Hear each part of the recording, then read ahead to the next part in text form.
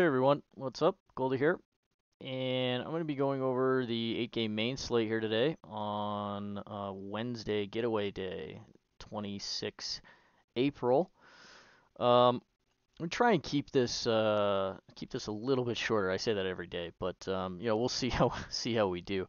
Um, so this is going to be a little bit uh, later this morning. Um, got some things going on, so um, we're going to try and keep it a, a little bit uh, condensed. Um, so I think today, uh, once again, an interesting tournament slate. We've got a few more very playable arms that we can get to on the mound. Um, maybe more so than in the last couple of days.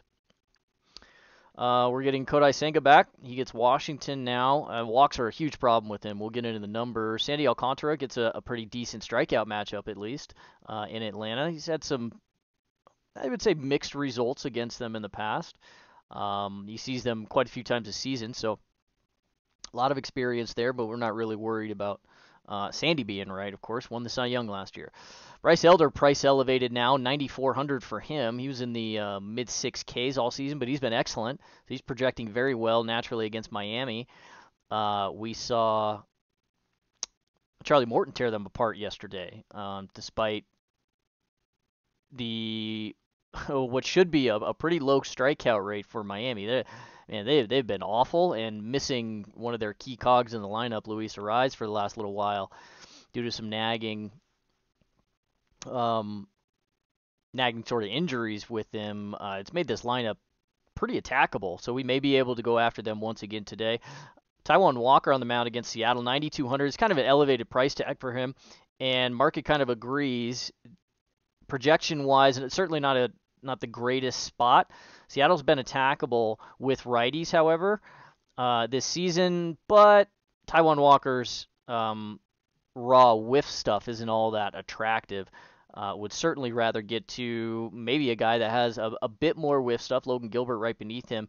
Um, he was originally slated to start yesterday, got pushed back to today because of uh, some slight back spasms. Doesn't look like it's anything serious, so he should be good to go. Bad matchup, of course, over here in Philly for him as well. We'll get into the numbers.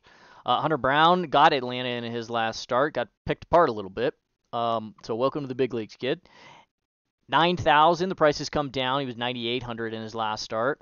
Uh, I still like this for him, even though he gets another very difficult matchup in Tampa Bay. I think this is an interesting tournament spot you could consider getting to. Anthony DeSclafani, um, tough raw strikeout matchup against the Cardinals. They're going to have some lefties. They might that might make things difficult for him. Uh, down here at the bottom, yeah, we'll get into the other guys kind of in the mid range as well. Down here at the bottom, a couple of real chalk pieces coming in so far. Steven Matz on the other side of that St. Louis San Francisco game. He's coming in very, very popular so far, 31% ownership. He's been not excellent. Um, and this is very high ownership, so we'll talk about that a little bit.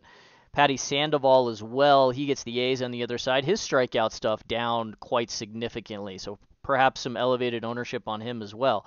Uh, certainly the projection is popping really hard, but his first four starts have not been great for DFS purposes, to say the least. Um, so perhaps a, a couple of attackable arms for sure, and and some decent tournament spots. Also some some pretty okay cash spots. So uh, that said, let's let's just get into it. I'm trying to keep it short here. Um, all right. Uh, Dodgers and Pittsburgh. They are the Dodgers are getting Tony Gonsolin back today, which is great. He's only going to throw four innings though, however, which is not great. Um, their starting pitching staff over here for the Dodgers, they're struggling quite a bit. They're giving up a lot of runs, and their offense really hasn't been all that great either, to be quite honest. Pretty attackable, at least in the swing and miss. 24% K rate for them so far. 126 WRC plus and hitting for a ton of power still. 37% aggregate hard hit rate, hard contact rate, I should say. And a 358 Woba with a 12.5% walk rate. Uh, this is still the Dodgers offense over here, and it doesn't matter that they really that they lost Trea Turner uh, and they're down Will Smith, anything like this. They're just shuffling guys right in. They've got Outman performing exceptionally. Mookie is Mookie. Freddie is Freddie. Uh, Max Muncy's been great to start the season. He, however, went on the paternity list, and they did just call up another young, high hit tool prospect of theirs, similar to a Max Muncy, maybe questionable in, in the defensive upside. Uh, but that's Michael Busch. Uh, he's the Stone Min. Play him at first or second base today. And probably an attackable spot for the Dodgers, I think, against Roansy Contreras. 5,700 on the mound for Contreras. Um, he's he's got high upside in the future. He really is struggling with throwing strikes two and three deeper in the count. It's because of a lack of a, a real good changeup and a and a good curveball. The slider is is really a, a very good pitch for him. And he neutralizes a lot of the power that he would give up otherwise. Uh, certainly to same-handed hitters, but it's a good pitch against lefties too. And despite having a, a pretty high barrel rate at, a full 10% with hard contact to the right side, this number two righties in terms of ISO at a 170 would be far higher if it were not for this pretty damn good slider. So four seamer is unfortunately pretty bad, and that's where he's giving up most of the hard contact, certainly to the right side and we don't want to be messing with with the Dodgers. This offense is still very very good. So um, at 5,700, it's an intriguing price tag, but the strikeout stuff leaves quite a bit on the table. And with an elevated walk rate to really both sides of the plate here at a, at a full 10%, uh, Dodgers, of course, still walking a lot. They're going to be very patient. They're losing Max Muncy, at least for today. But all these other guys in the, in the lineup, they're still very patient hitters. Uh, Mookie, Freddie, obviously not going to beat themselves. JD will walk. Um, so, shown a little bit of patience at the plate. He's, he's striking out a little bit, but also the power is definitely there. Of course, David Peralta, Miguel um, Miguel Vargas, good cheap pieces to add to some Dodger stacks if you want to get there as well. And I mentioned Michael Busch is the Stone Min with multi-position eligibility. So uh, I think we can get to some Dodger stacks here. Uh, off the top of my head, haven't quite looked at their ownership, but that will it is pushed to the site already, so you guys can um, peruse at your leisure. So I'm not going to be doing this, even though this price tag for Roansy is is attractive. This is a really bad matchup for him, I think. And getting to the Dodgers here um, looks like a, a pretty viable stack. Uh, it is in Pittsburgh, and it is just 60 degrees. Um, but Pittsburgh will play up left-handed power a little bit more than right-handed power. So uh, this is a decent spot here for really both sides of the plate in terms of raw contact and hard contact on the barrel for the Dodgers. Uh, I think this is fine. At 5700 it is a fine price tag, but there's prob and since we're kind of starving for some value down cheap, you may want to consider this because the Dodgers, like I said, have been striking out a little bit. So there is there are a couple of routes here for Roansy to to pop through, you know, a standard deviation or two higher than this median projection, um, which could put him upwards of you know 18, 20 points even. And at 5700, that's fine. Um, not much, certainly not my favorite play. However, uh, the barrel rate and the walk rate against this particular team are uh, a little bit too high for my liking. And we, as I mentioned, Gonsolin's only going to go four innings here, so at this price tag, don't think we can really target him. Um, now, nobody's going to play him because of that, and the median projection so far should be taking into account the limited pitch count, but um, I'm not too convinced that's really the case just yet. Perhaps it is. I mean, we were paying 10000 for this guy last year. He had a fantastic season in 2022, and all of the stuff is, is great. Um, really turned a corner last year, but unfortunately, he's only going to go four innings. So if you want to take some deep tournament shot punts on this, uh, I don't think we can get there in 20 max or anything like that. It's got to be deep stuff, and you're really looking for an outlier performance like a six Ks in four innings type of type of deal, which is reasonable, and that could pop him to 20 points or so. Um, and that could be all you need. But uh, certainly not my favorite high probability play, but it's it's okay if you're uh, really targeting um, and kind of an outlier performance. Don't really want to go, be going after the Pirates. The uh, I, I, believe they're still missing uh, Bryan Reynolds today, still on paternity leave. Um, but he may be activated t- uh, just today, so I'm, I'm not totally sure about that. Keep an eye on that, and that would um, almost fully take me off of Gonsolin if if Bryan Reynolds were back. Um, but I think this is an okay tournament shot if you want to take it and and just count on. I mean, that's the that's the max. He's only going to go four innings, and he will get pulled even if he is rolling. So uh, just be aware of that. Uh, we're dealing with Dave Roberts over here, but like mostly the Dodgers, maybe a couple Gonsolin pieces in deep tournament stuff, and mostly off of the Pirates. I don't really want to go after Gonsolin. There's some cheap pieces for you, of course. Jack Suwinski has some pop, but um, not thrilled overall going after uh, going after a really good arm. Uh, okay, let's move on to Houston and Tampa. 9K for Hunter Brown, as I mentioned. Median projection, um, kind of disappointing so far, but also kind of expected. Okay, he gets Tampa, and they're uh, you know one of the best teams, probably the best team in baseball so far. Uh, 20 and four now. They did lose again yesterday somehow. Um, decent spot again, I think for for Hunter Brown to capitalize on on real high upside at, at pretty low ownership. Now, admittedly, this this matchup is once again pretty bad, and Tampa's been fantastic against righties this season. 21% K rate, high walk rate, 150 WRC plus. 375 woba. They're getting on base, hitting for a lot of average and a lot of power in the air. So this is a stack that we want to target in general. And I think you could also take a couple of shots against Hunter Brown here. Uh, certainly not my favorite. I don't like attacking real good arms and, and high upside arms um, with good pitch mixes, good arsenals. He's got a good four seamer and a good slider. The changeup, still work in progress, of course, and throwing the curveball a lot. But this is also so far in the few starts this season has, has provided him um, with break even value and really for a very young arm like this, um, in a admittedly a, a, pretty short sample still, this is uh, encouraging. So uh, generally, I don't want to go after guys like this, but um, we saw that you know young arms have have some variance in them. No, really, no matter who they're facing, and again, this is a, a, very good lineup with a a lot of really good results so far. Um, now, 25 games, just 25 games, and we don't want to get too crazy with the Rays here, but this is going to be a good team all season.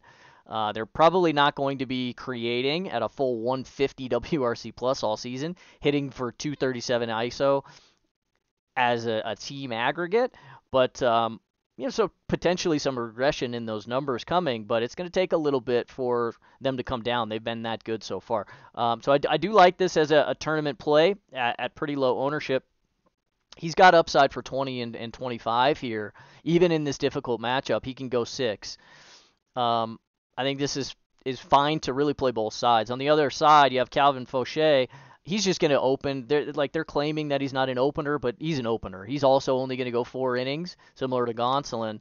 And this is much more attractive, 5,300, but he gets Houston over here. This lineup, while missing Yordan Alvarez, dealing with a bit of a neck issue, um, they're they're still very potent. They've got Mo Dubon at the top of the lineup. He doesn't strike out at all. He's a pest. Jeremy Pena cutting down on the strikeouts a little bit more, starting to see the baseball a little better.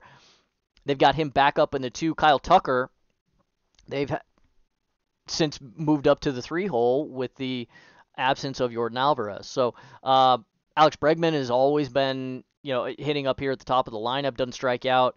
Pretty decent contact hitter over here as well. So not super wild about going after Faucher. And um, I would almost rather get to some Houston pieces. You could still get to a cheap Jose Abreu. He's only 3,500 still. Uh, Alex Bregman is 45. That's very playable. Kyle Tucker expensive, of course, at 57. You can you can certainly play him in stacks if you want to. Pena at 42. Mo Dubon at the top at 34. So, of course, they have the the power bats down at the young power bats down at the bottom of the lineup. Corey Julks, David Hensley, very cheap price tags there, 28 and 2300 respectively. So you can get to some of the Houston Astros here if you'd like to. Um, like to play some what's likely to be relatively low ownership. This game is in Tampa, and offenses just generally don't get played in Tampa. They mostly shouldn't, but um, since it's a pretty heavy pitcher's ballpark, but this is a, still a pretty damn good offense down here.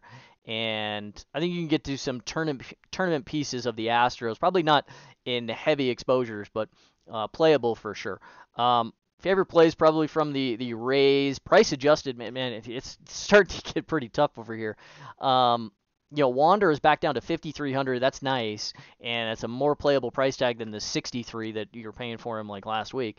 Um, up at the top of the of the top guys, he's probably the best price adjusted play, but these numbers so far for Hunter Brown are really excellent. I don't like going after him, and certainly a very expensive price tag. So kind of off of the Rays, uh, even though they're just going to win every damn game this season.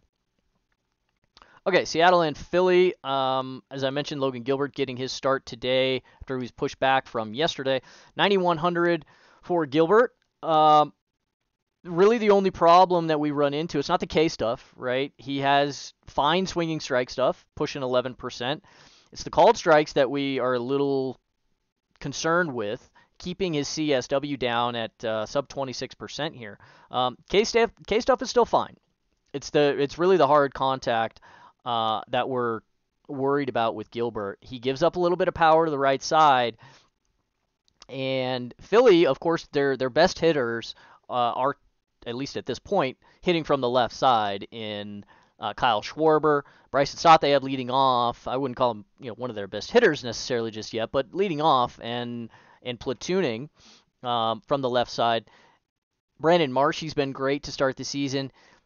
So they're they're actually pretty balanced because they do have Trea and JTR there. Uh, Castellanos, he's had a really good start to the year as well. So very balanced lineup over here. Uh, I would say their best hitters probably coming from, at least in terms of raw power, um, probably from the left side, I would say, with with Schwarber and and Brandon Marsh. Um, but like don't get me wrong, Trea Turner and and Castellanos and JT Realmuto, I mean, they've got pop also. Uh, so kind of a dangerous spot here for Gilbert. Elevated price tag 9100. Not super crazy about that. Um, projecting just fine. I think this is maybe a tick high in the early going here uh, for a, for a median projection, but the ownership I think is is okay.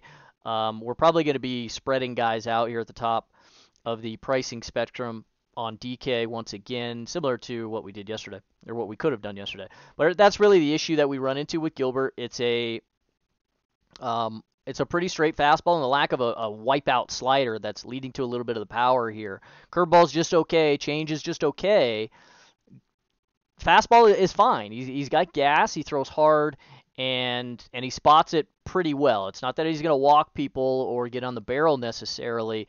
Um, too terribly often, but the, the contact that he's giving up uh, is certainly of the medium plus variety and notable definitely. So uh, doesn't really translate into homers or anything, but this is a small ballpark over here in Citizens Bank, and it looks to be you know pushing 60 degrees or so. Should be a nice day for baseball over here in Philly. Um, I think I would probably side with Gilbert in this particular matchup. But I would not be shocked to see Philly piece him apart a little bit here uh, if he's up in the strike zone. Certainly, if he's throwing any of this sinker at all, pretty bad pitch there. But if he's he's entering into the variance range with some of this four seamer um, four seamer value, and with the lack of a slider and really not throwing the changeup all that much, the curveball is kind of marginal as well. So the arsenal isn't all too impressive, even though the arm is really strong, and he does have K stuff. Uh, you can go after Philly in the early going here, 25% K rate against righties in 600 PAs, 120 WRC plus, however, 180 ISO with a 350 WOBA. Hard contact, definitely. So uh, I think it, it does make the Phillies a little bit viable here if you want to go after a guy, certainly if uh, Logan Gilbert's ownership steams at all. Taijuan Walker on the other side, we mentioned him. He's a fine tournament play in general because he suppresses pretty well. He's got some good suppression numbers, three three and a half ERA with a 4.0 xFIP. It's fine. Buck 20 WHIP because he doesn't really walk people. He throws strikes, does pitch to a lot of contact, and unfortunately, when we really want to go after Seattle, it's with guys that are going to be able to throw it by them. Striking out at a 24% clip so far, not hitting for as much power. So when we have guys that have that have real good whiff stuff, they're not performing up to their kind of hype so far um, this season. And unfortunately, Taijuan Walker leaving a little bit on the table in that regard. 20% K rate, swinging strike rate sub 10%. Called strike rate is okay, and, and keeping the CSW pushing 27, but rather low for somebody up at this price tag. Um, similar to Gilbert up here, this this CSW number, we need to see this pushing 30 for top end of the rotation starters. So, um, very potent offense, of course, in Seattle. They will hit for some power, and when they start waking up, they're gonna they're gonna wake up in a hurry. Um, not wild about this price tag for sure, and not pro- projecting all that well, so he's probably going to get left off of a lot of tournament builds for me. But I wouldn't be surprised if I come in, you know, right around with the field with a few teams here or there. Um, nothing overly impressive in the arsenal outside of the splitter. That's really his best pitch, and it's what's keeping him from giving up uh, too much power when he's pitching to so much contact to the left side. So um, strikeout stuff certainly not overwhelming though, and that's really how we want to attack Seattle in a lot of scenarios. So I think you can get, get to some sneaky offense here, really against some two real good arms. I mean, I respect Taijuan Walker's arsenal and his arm and and the suppression. Like this is a, a decent major league pitcher anymore, even though the uh, you know the 17 pitches that he's got are really none too impressive outside of the split change. So um, that does make him a viable tournament play, however, with a really good split. If he's on the plus side of the variance here with the fastball mix. Sinker's still pretty okay for him. If he's spotting this fastball and and getting some tail on it, a little bit of movement, then he can he can manage and, and pick through this lineup up here. As I said, they have been striking out a good bit and overall performing um, pretty mediocre and right about league average, just a 101 WRC plus so far uh, here in a pretty good sample, 650 PAs.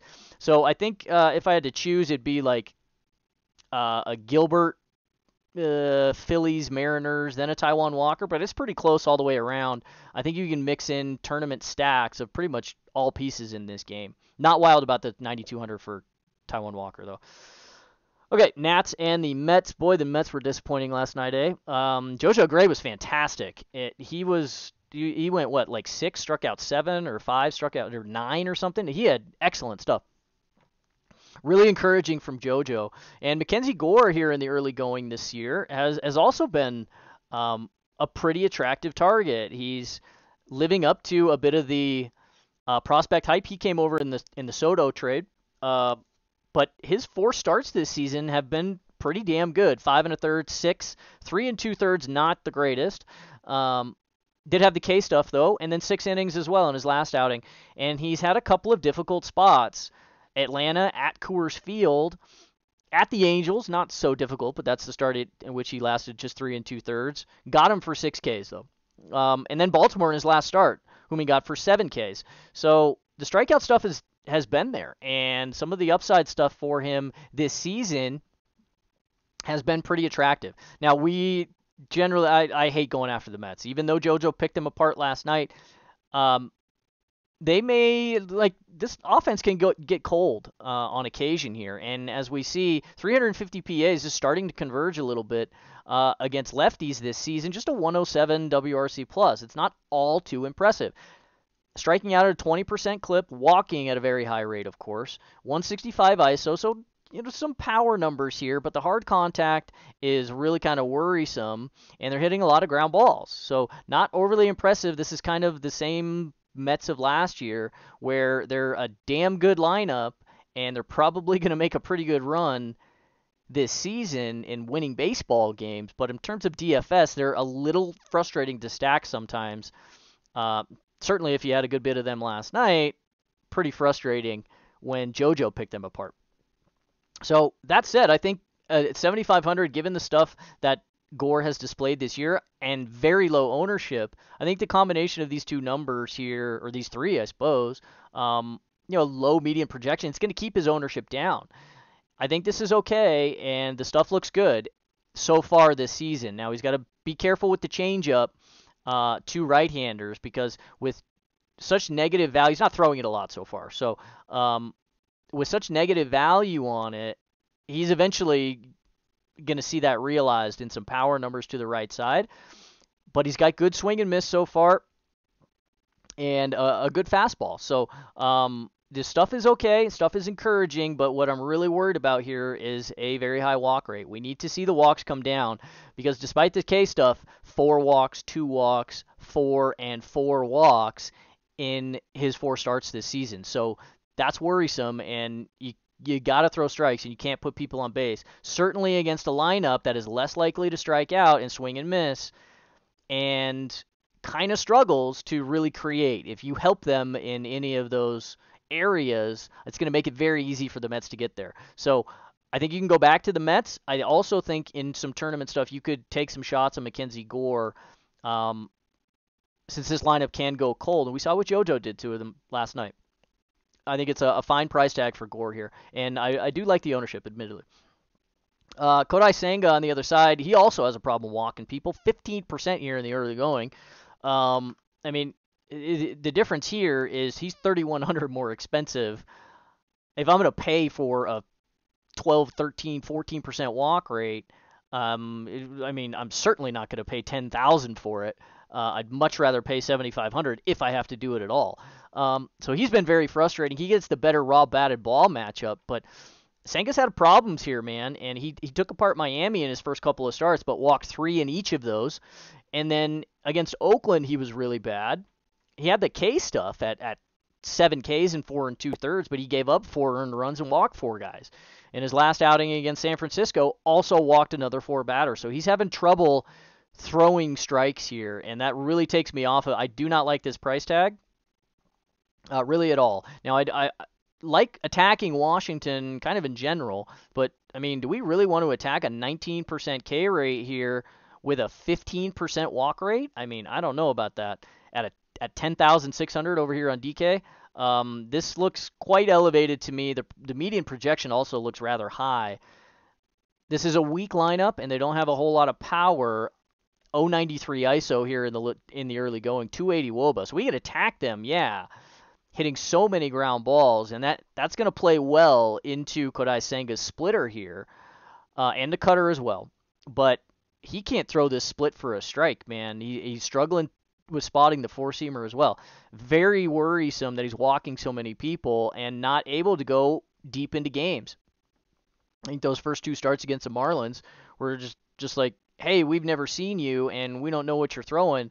But now teams have a four start sample on him and they're aware that he's having trouble throwing it over the plate. So they're going to be a lot more patient and and they're going to whiff a hell of a lot less than maybe the Marlins did in the first two starts against this split.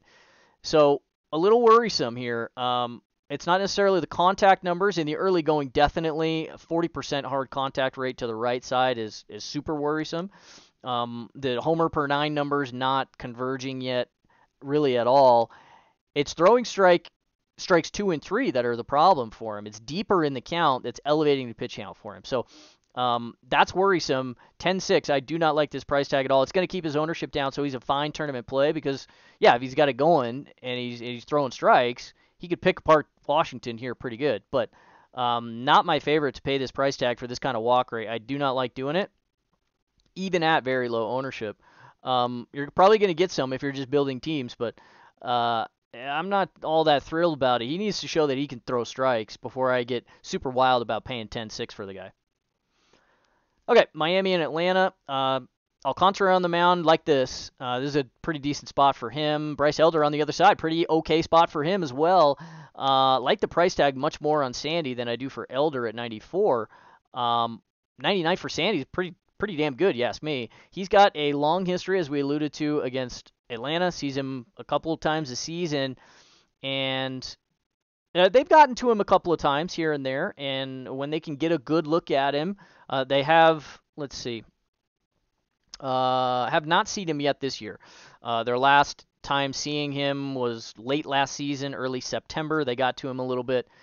Um, but in the what three two other outings last season, he put up 45 DK points and 38 and a half DK points. Um, in one of those games, threw a complete game shutout, got up for seven strikeouts, and in the other, in the 45 point game, he went eight innings, struck out 14.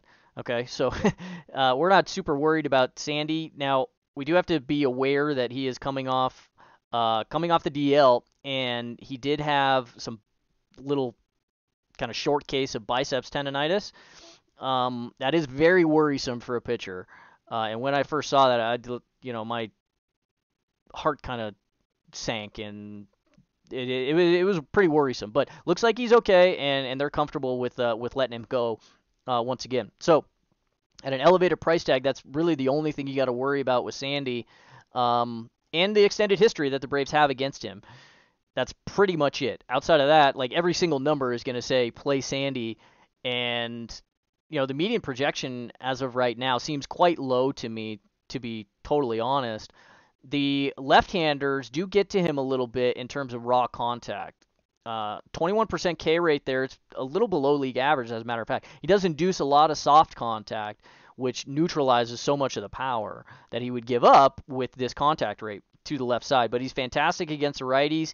He's a horse. He throws like 110 pitches every damn start. Um, so if he's got this, if he's got the slider spinning, um, and he's spotting this fastball here tonight. Like he's got gas in the tank for sure, and a full 90 miles an hour on the slider. Like the the arsenal is excellent, top to bottom. Um, so I'm not worried about about attacking the Braves here at all. I I like Sandy a good bit, and this early 16% ownership on him, uh, I think is pretty attractive. On the other side, 9400 for Bryce Elder. Price tag's elevated now, and we're at what 60 he was at 6,400 or something in his first start this year. Um, 6,900 down to 66, up to 77, and 83 in his last two starts. The K stuff's been great, going six, six and a third, five and a third, and six innings in each of his four starts in a couple of difficult matchups. St. Louis he had, he also had Houston, and he's been pretty damn good. Very impressive. The ownership is also starting to elevate on him as well, Naturally, it's because he gets the Marlins and they're terrible. 25% K rate so far in 700 PK, PAs rather against righties this season. 146 ground ball to fly ball. It's a horrible number. 138 ISO, 83 WRC plus. Just walking at a you know a tick or two below average are the Marlins here against righties. And if they still don't have Luis Arraez, uh, I like playing some Bryce Elder here. I, am not sure the um, the ownership is really high enough given how bad Miami has been and how attackable. Uh, I do not like the price tag here at 94. I'd much rather pay the extra 500 and get to Sandy. I'm very confident in him um, in the stuff. So, of course, he's got we got matchup differences and, and all this kind of thing. And this is why Elder's projecting higher in the early going than Sandy is. Um, but at, at the same ownership, I think both of these guys are fine to mix into your pools today. Um, much more comfortable, of course, with a, a 99 on Sandy than I am a, a 94 on Elder. But uh, matchup and and raw stuff, I mean, I, maybe maybe brings those two prices a little bit in line for me. Um, it's okay to get to some Elder here. I, I don't like that the ownership is coming up uh, in aggregate. We, I mean, certainly in the in the last start, he was what three percent owned against Houston. So that's a little concerning and it's something we got to be aware of with constructions. But um, you know, if we don't want to get up to a Kodai Senga, uh, I think an Elder here at a little bit cheaper price tag is a, a very viable piece uh, to consider. So off of off of the Marlins almost entirely. You can play Jazzy again, of course. Um, now he's not nearly as, as susceptible as Elder to the left side of the plate so far, not giving up near as much average or power as does say a Charlie Morton. But 17% K rate in 150 hitters is 17%. So Jazzy is going to make some contact here, and he hits right-hand pitching very, very well.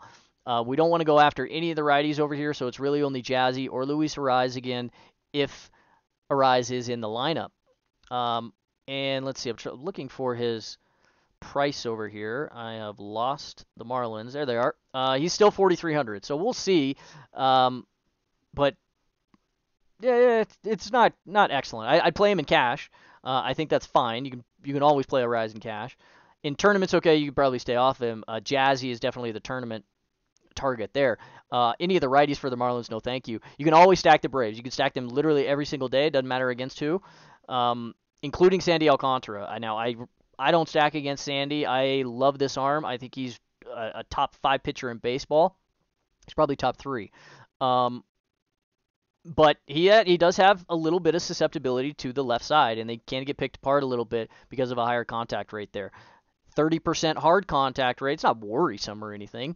Uh, but it is there. So you can get to him with a couple of these lefties over here. Matt Olson, I'm not paying 56 for Matt Olson in this spot, though. Uh, Eddie Rosario, he's the best price adjusted play at 25, but I'm not super crazy about that either. If you want to go chase a Sam Hilliard, 3,100 down in the 8 or the 9 hole, uh, by all means, go ahead. Um, Ozzie Albies, even at 45, I'm not super crazy about. So kind of off the Braves here. You can play Acuna every day, but um, I'm probably not going to be stacking here against Sandy. And I mean, if you want to, nobody's going to have it. They'll all be f- sub five percent owned. So uh, by all means, go ahead. But um, no, thank you. In in general, I don't like going after Sandy. All right, let's get to the Padres and the Cubs. Michael Wacha on the mound, kind of an interesting play here, I think. Um, just because of a lack of a lot of options really in the mid range. Here at 8,300 for Wacha, I generally don't like playing the guy. He gives up too much power for my liking. Um, 200 ISO basically to both sides. On the barrel at a full 10%. Now, that one outing he had where he struck out 26 guys or whatever it was, um, yeah, that's certainly an outlier. 10 against the Braves. And if Michael Wacha can get to them, that kind of puts me onto Sandy Alcantara even more, right? Um, that's why I like playing Sandy. And sure enough, we stacked against Michael Wacha in the in the start immediately following that 10K outing against the Braves, and he got picked apart, gave up seven in four and a third uh, against Brewers. So um, variance with Wacha here, definitely. And the Cubs could be one of those stacks that get to him in the early going. They've been very good against right-handed pitching sneaky high 118 WRC plus against righties and 600 PAs. Strikeout rate has converged for them as a as a team aggregate about 19%. Now it's probably going to tick up at one or two clicks here as we get deeper into the season.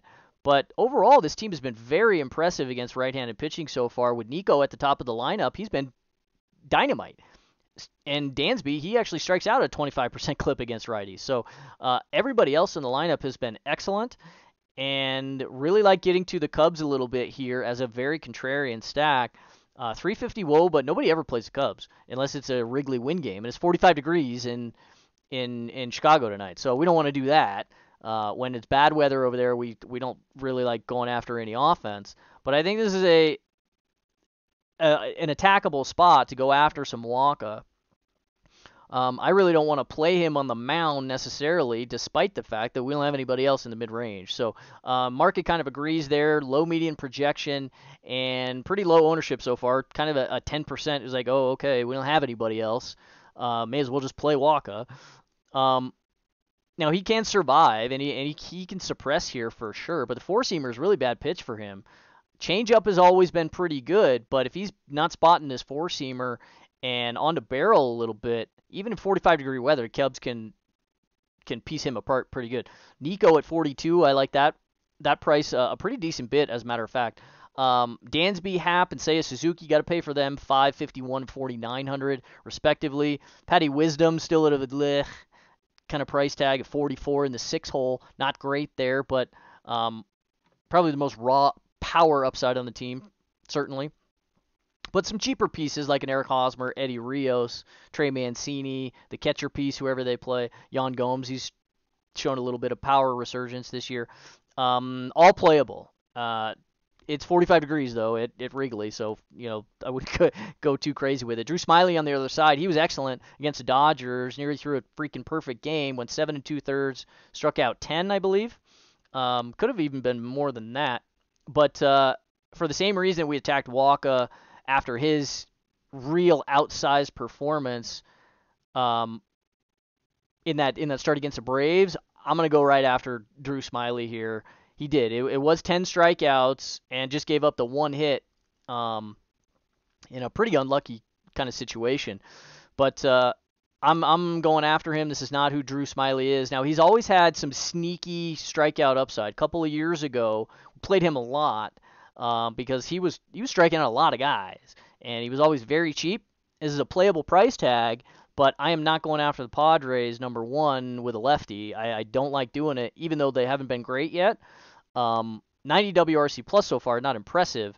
7% walk rate, not impressive. 21% strikeout rate means they're still taking um, taking pretty decent at bats here, and and they're not beating themselves, not walking and getting on base enough, but still not beating themselves. Hitting for a little bit of power here, 160 ISO, it's kind of average, 301 WOBA. All of their contact, however, has been of the medium variety. When this starts to, this will not con, uh, persist this entire season. Uh, against certainly against lefties with Tatis back. So at 24%, this is going to regress, and it's going to regress pretty quickly. And I think this is a fine spot to go after some offense, despite 45 degrees in Chicago. I like targeting regression spots against starting pitchers. And I think it's a pretty viable spot to go after Drew Smyly here. In aggregate, just doesn't have the, the raw whiff stuff. And he'll give up some power to the right side. 175 ISO here, and one and a half homers per nine. It's not terribly worrisome or anything, but I think we can go after Smyly and and expect that the regression train is going to hit hard after that real outsized performance, striking out 10 Dodgers in seven and two thirds, giving up just the one hit. So um, I think you can get to some sneaky offense here. It's bad weather, don't get me wrong, and not super high probability, but both of these arms are attackable, and you know you, you could see each one of these teams put up six runs, and and that's not a terribly crazy uh, performance there. So um, probably uh, definitely no Drew Smyly on the mound for me, and probably very little Michael Wacha. Uh, maybe I'd get to the field with this, but even over 10% ownership, I'm not super thrilled there. Would prefer some of the Cubs pieces. Okay, Oakland and the Angels. Um, they've got uh, another young arm going today in Oakland, or for Oakland. Um, now, bad first inning for Mason Miller last night, but we're going to play him every single start. Uh, definitely low ownership. Um, tilting that he didn't get there, but he he has the upside, and it's probably going to keep his ownership down in, in, his further starts. So we're real excited about that. Luis Medina, however, um, he, he's a top prospect for Oakland. He is nowhere near the has the same type of um, stuff that that Miller has. So you're going to see a lot of ownership come to the Angels today. He's far more attackable um, has a a fine. I don't have any of the data right here in the sheet, obviously, but has a a fine three pitch mix. Um, four seamer slider command is a bit of an issue, and he can he can spray it and and get a little wild with it. So you're going to see a lot of ownership come to the Angels today. Um, at 5,000 now, Medina is is a starter and and he is stretched out as it were, but uh, he has still only thrown I think in three starts less than 10 innings down to AAA this year. So he's not going to be long for this game either.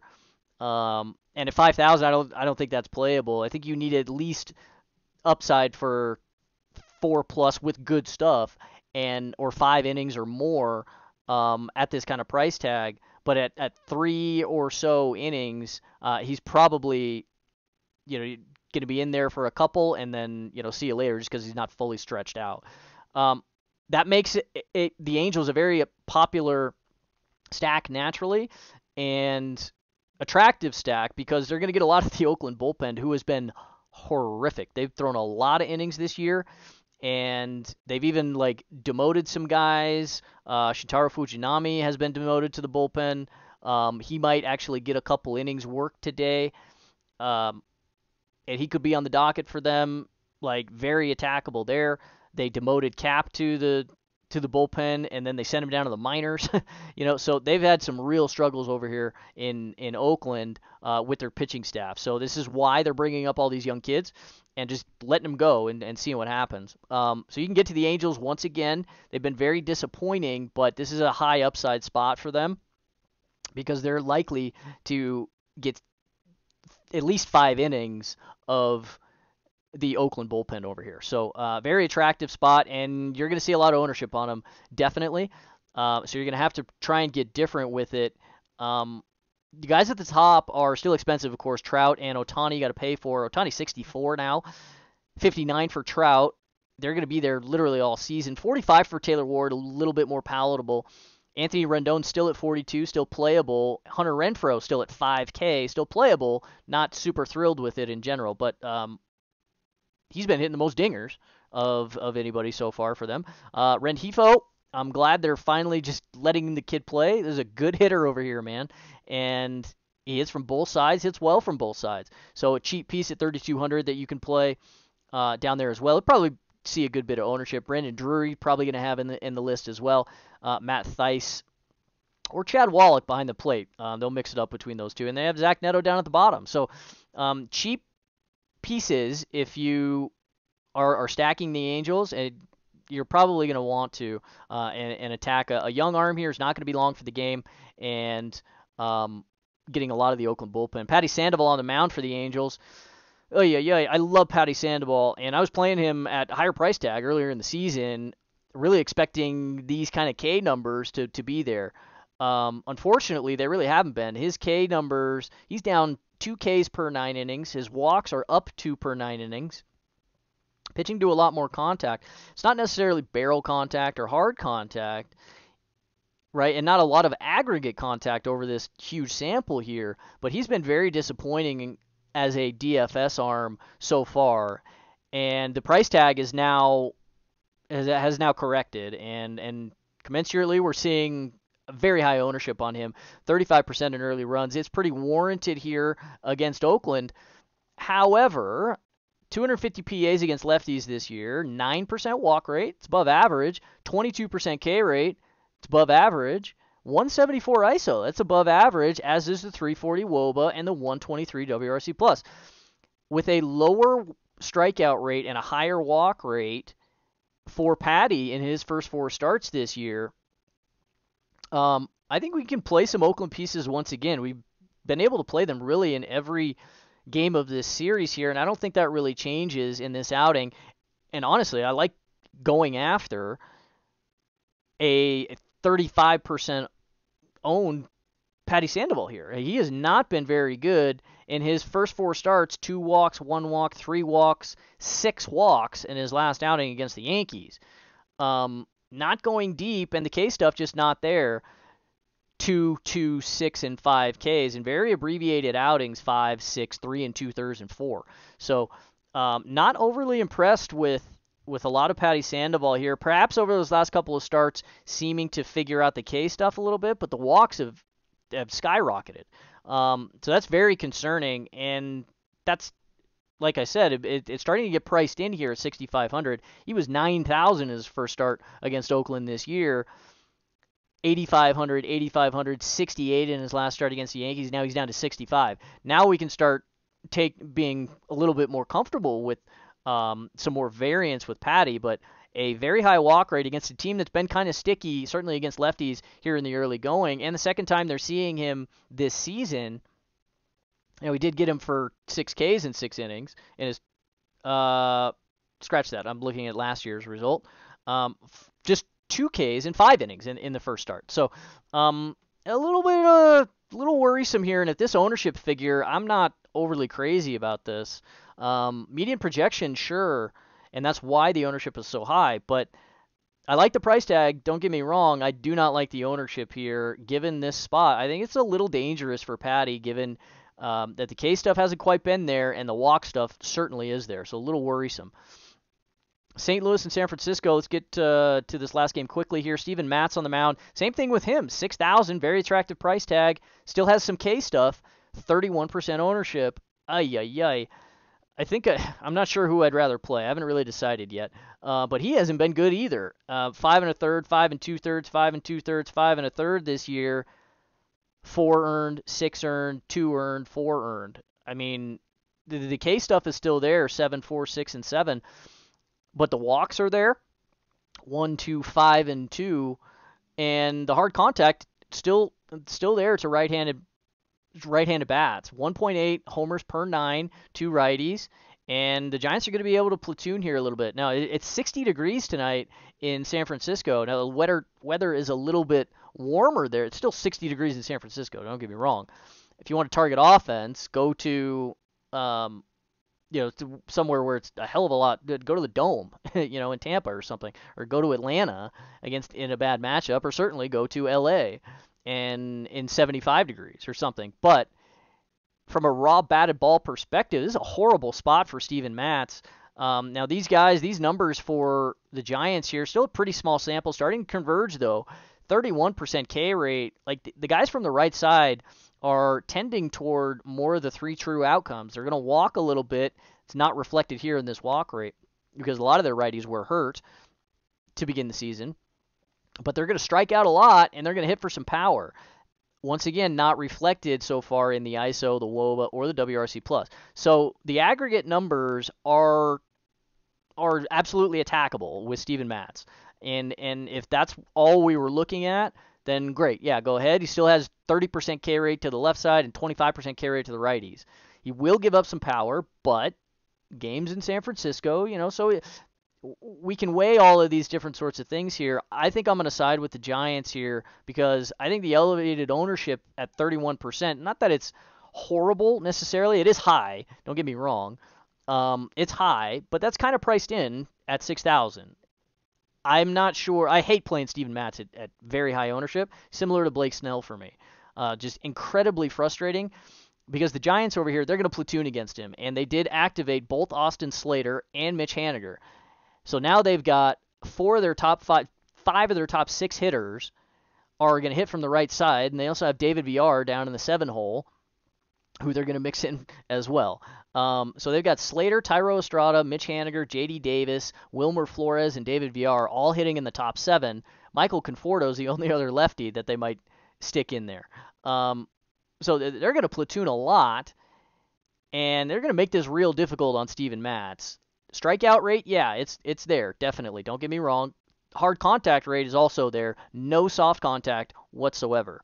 And Give me give me some of the Giants here at a 1.8 homers per nine. I do not like this at a very high ownership level. I like the price. Don't get like let's not kid ourselves. It's attractive down here for these kind of strikeout numbers, and you can play some in in some teams. Don't get you know don't get me wrong, but um, give me some of the Giants here for sure. I would absolutely be building some Giant stacks, taking some pieces. Austin Slater's 2,800 leading off. Mitch Haniger, very good price at 3,900 for him. Now it might be a little cold to start the season, but um, all of these guys are under 4,000 or right at 4,000. JD Davis is 41. Uh, Thairo Estrada is 49, so that's not super exciting, but you can play every single one of these guys and, and get to some leverage. And I think in both of these late games against very popular arms, uh, Steven Matz and Patty Sandoval, you could play the other side and and get some leverage on that. I think they're playable stacks. DeSclafani on the mound for the Giants, 8,600. We like DeSclafani against righty heavy lineups.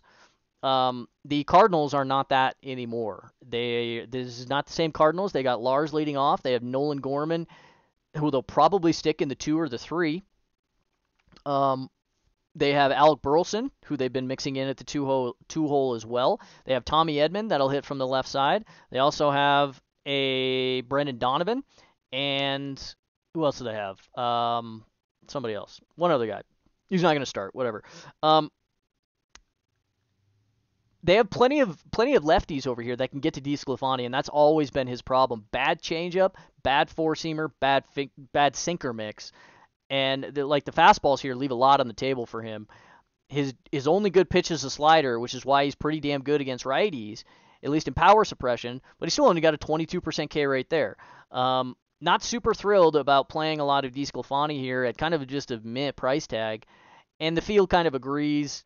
Median projection so far at, at just 14 and change, 8 10% ownership. It's just kind of whatever. He's not going to walk anybody, and he's not going to put guys on base for free. So if he's really got this slider like spinning for him, and he's seeing outsized performance in the sinker and the four seamer, yeah, he could survive through all of these lefties uh, and Goldschmidt and Arenado, Willson Contreras.